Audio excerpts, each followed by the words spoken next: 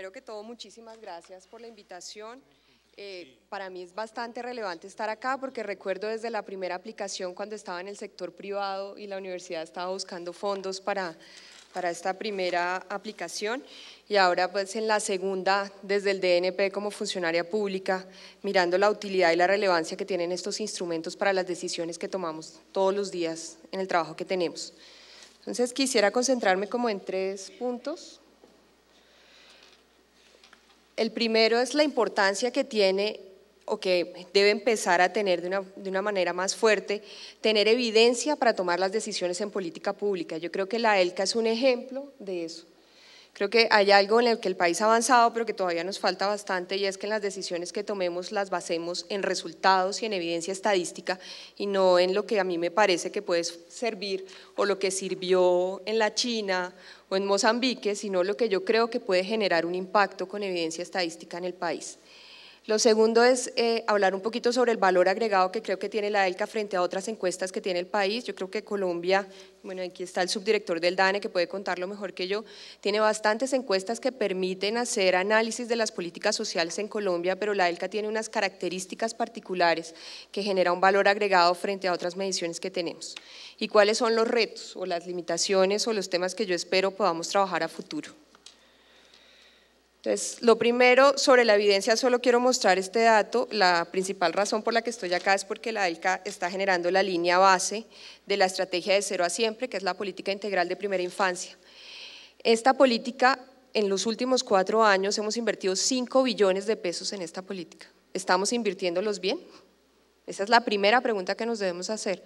Si yo miro los datos solo con las encuestas transversales, claramente hemos tenido aumentos en cobertura Efectivamente, estamos atendiendo un mayor número de niños, pero esto está generando un impacto de mediano y largo plazo sobre el desarrollo cognitivo de estos menores. Efectivamente, está generando un impacto sobre los niveles de nutrición, sobre las maneras o las prácticas parentales. Esas son las preguntas que nosotros esperamos que la ELCA nos ayude a resolver. Claramente no podemos esperar a que la resuelva para iniciar la política, pero sí puede ayudarnos para mejorarla en el paso del tiempo. Entonces, yo creo que ese es un tema fundamental y, es uno de los valores agregados que yo le doy a este trabajo. No estamos hablando de una inversión de tres pesos, son cinco billones, no del gobierno, sino de todos los que estamos aquí sentados porque son financiados con nuestros impuestos. Y estamos hablando de la atención de un millón de niños en el país. Entonces, ¿lo estamos haciendo bien o no lo estamos haciendo bien? ¿O cómo podríamos hacerlo mejor? Lo otro que quería comentar sobre el tema del valor agregado es decir, eh, digamos, siguiendo el ejemplo de la ELCA, el Gobierno Nacional ha venido realizando una nueva encuesta longitudinal, que es la encuesta longitudinal de protección social, cuya línea base fue recogida en el año 2012, yo creo que el DANE va a comentar algo sobre eso. El objetivo de esta encuesta era tener información sobre el mercado laboral y sobre la movilidad social en el país, teniendo en cuenta además una misión de movilidad social en la cual los Andes también participó. En ese sentido, ¿qué tiene la ELCA que no tiene la ELPS, la encuesta longitudinal de protección social? Lo primero es el énfasis en los menores de 5 años.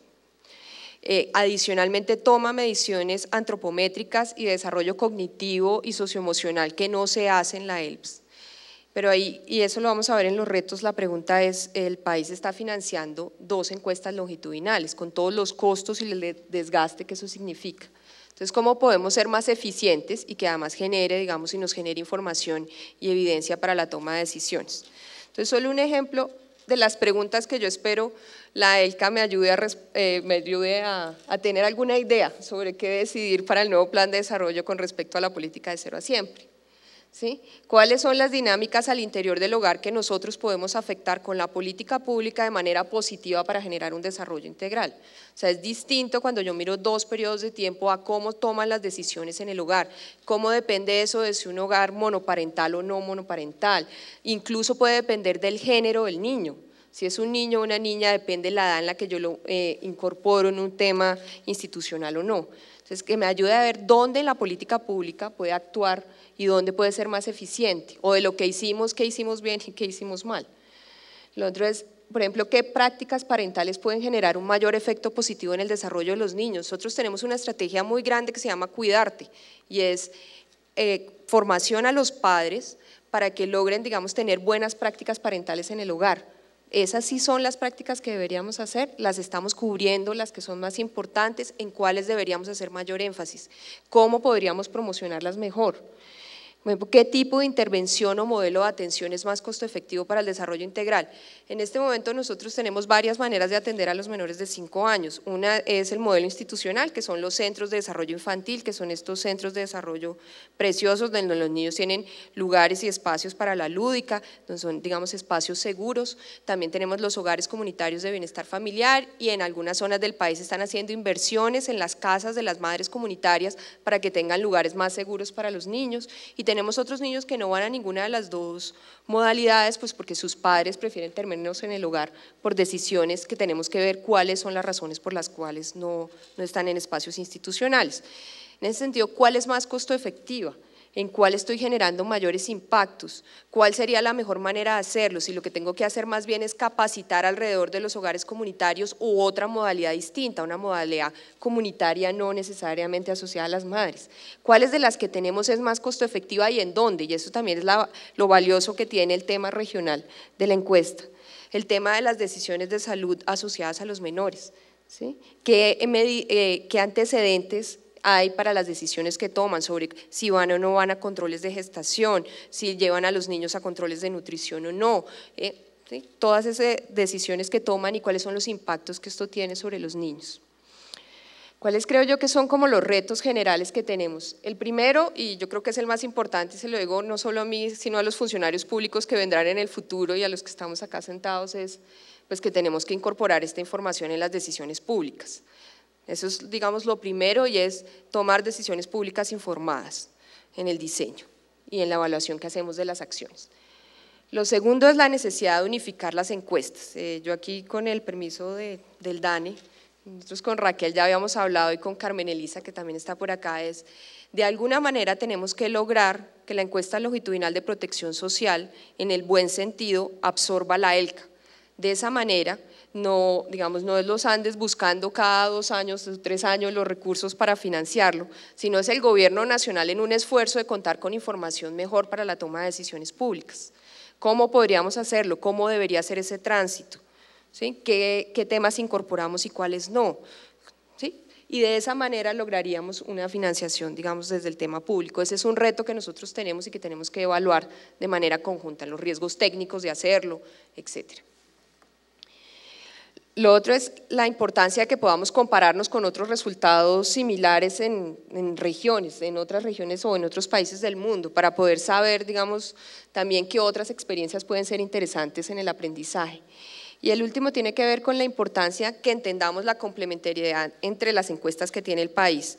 Eh, mirando los datos que presentaban ahora sobre los cambios en, no sé, en cobertura o en nutrición, una cosa que uno debe tener en cuenta con las encuestas longitudinales es que son limitadas para hacer comparaciones entre dos periodos de tiempo, digamos, de datos totales.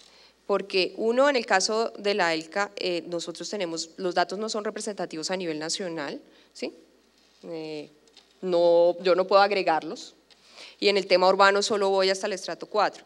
Entonces, lo primero es advertir, claramente no podemos comparar lo que encontramos en la encuesta de calidad de vida o en la gran encuesta integrada de hogares o en cualquiera versus lo que encuentro en la ALCA. O sea, son dos informaciones distintas que, digamos, no, no, no, debo comparar y lo digo porque nos ha pasado en otros escenarios en los cuales dice, sí, pero es que los resultados de la ELCA eh, no dan similares a los resultados que yo tengo de la misma variable por la encuesta de calidad de vida. No, claro que no dan similares porque no están hechas para eso. La, la ELCA no está hecha para mirar cuáles son las coberturas de los programas, para eso yo tengo una encuesta transversal. La ELCA está para mirar transiciones y cambios en el tiempo. ¿Qué pasó con ese hogar? ¿Qué decisiones tomó? Lo otro que me parece importante también que evaluemos dentro de la ELCA es hasta dónde, y viendo el video, el condicionamiento de los hogares por hacer parte de la encuesta, qué impacto ha tenido sobre los resultados.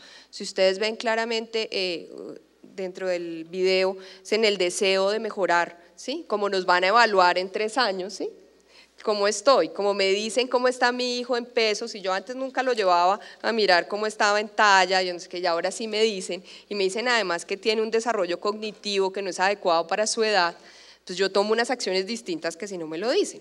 Entonces también para ver eso, y eso solo aquí para mostrarles unos, unos ejemplos de datos, esto Estos son los datos sobre asistencia a modalidades. Si ustedes ven, cuando yo comparo, digamos, esto es comparando una cosa que dije que no se debe hacer, pero solo para que vean que puede existir un condicionamiento, los datos de la encuesta de calidad de vida con los datos de la ELCA, claramente la, la encuesta, la ELCA muestra una tendencia superior a la que muestra la de calidad de vida. Entonces puede haber un condicionamiento a que yo trato de tomar unas acciones sobre las que antes no tenía conocimiento. Este es solo un, un ejemplo sobre ese tipo de medidas. Muchísimas gracias.